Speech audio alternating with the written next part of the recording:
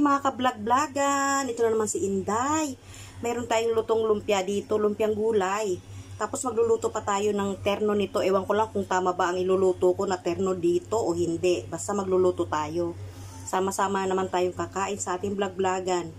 As usual, sa kusina naman palagi. Meron talaga pang update kay Lolo para hindi tayo ma mm, ma-chorbalay.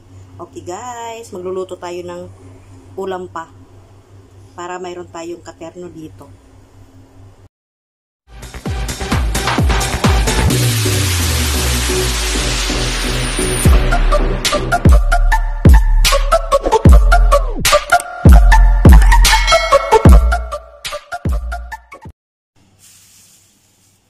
Ayan mga friendship, kumukulo na yung tubig natin. Siyempre, ang gagawin natin ay pakuluan muna natin ang ating pata. Ayan. Uh, pinili ko yan kanina. Sadyang ganyan ang paghiwa ng pata dito. Naka, aray nakahiwa na. Aray ko napaso ang matanda. Mano yung tubig.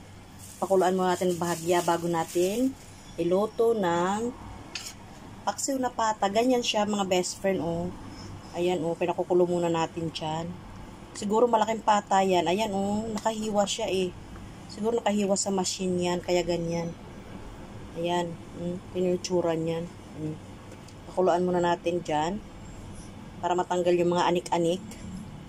At kung ano-ano pa mga dapat tanggalin dyan. Ayan, guys. Pakuluan muna natin dyan. Di ba? Yan ang ating uulamin. Matagal na ako nagkikraving dyan. Sa palengke kasi pwede naman bumili ng buong fresh na pata talaga. Yung buo, kaya lang ang laki-laki naman. At saka mahal eh, maganda na to. Hayaan nyo na. Meron lang tayong pagsaluhan. Meron na naman tayong mga vlog-vlogan dyan. Char. Diba? Ayan, tanggalin natin yung mga anik-anik dyan. Tinan mo tsura niya. Tapos igigisa natin. Babalawan pa natin yan ng tubig. Lilinisin talaga natin siya ng bongga. Bago tayo magkamayan na naman ngayon. Kumusta na kayo mga friendship? Ano nang buhay-buhay natin dyan?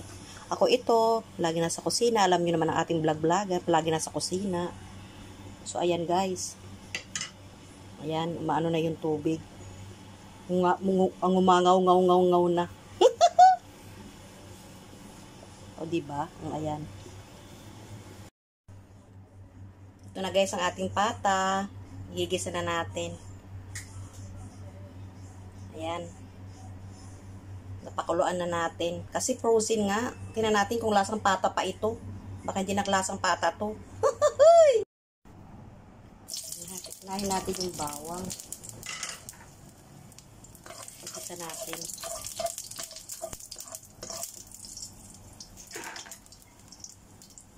Lagyan natin ng sibuyas.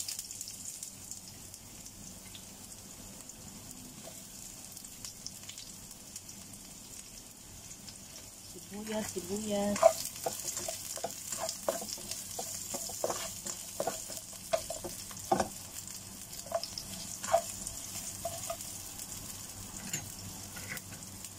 Lagyan natin ating pata.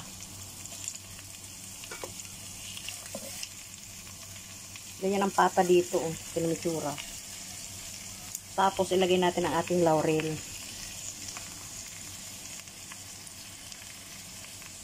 Meron tayong dahon ng saging, kaya lang mamaya na. Lagyan na rin natin ng paminta. Pero ang paminta, pwede yan sa huli, kaya lang lalagay ko na. Bahala na lang. Bahala si Batman dyan. Ayan. Tapos, ito na, nakatimpla na yan. May suka.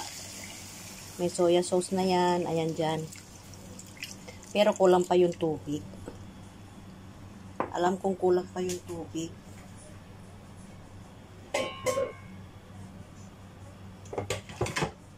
Tatakpan muna natin. Daragdagan natin ang tubig mamaya.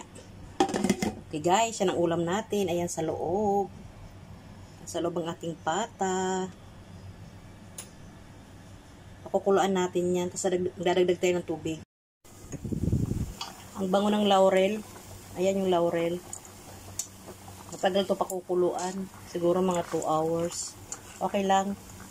Antayin lang natin. Mahalaga patas siya. Grabe. Yan. Mm. Diba ang ating pata? Wow. Busog-lusog na naman tayo nito mga best friend. Takpan lang natin. Huwag mo natin bulabugin.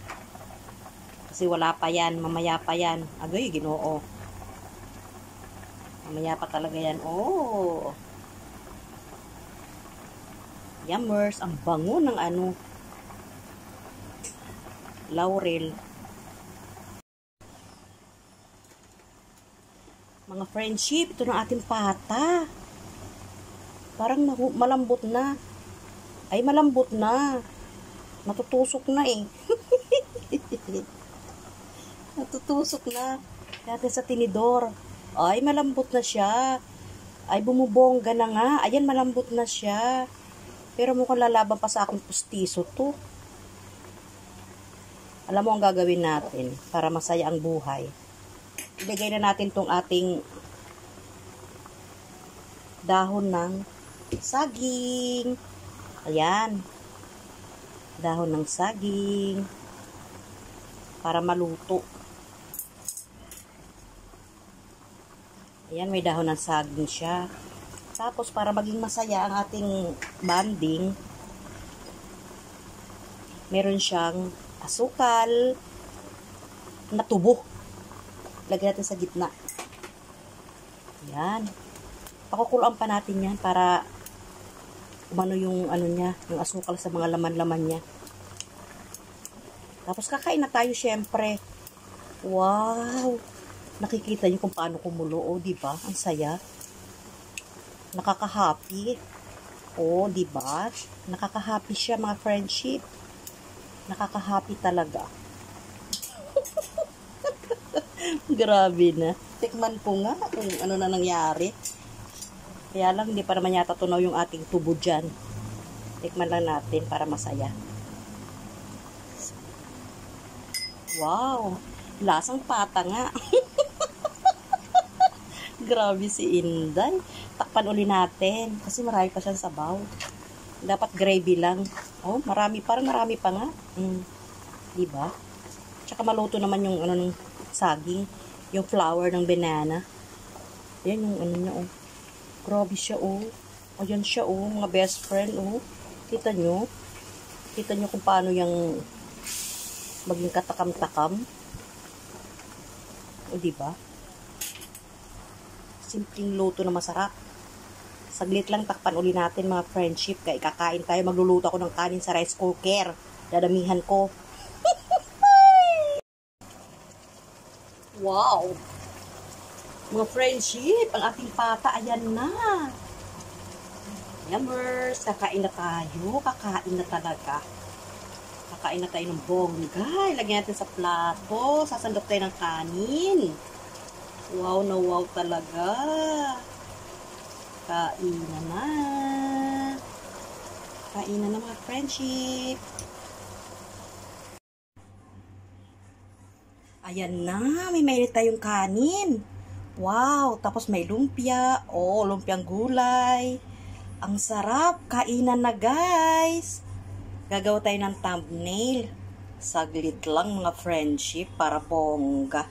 Magkakamay na naman tayo nito. Yahoo! Kainan na.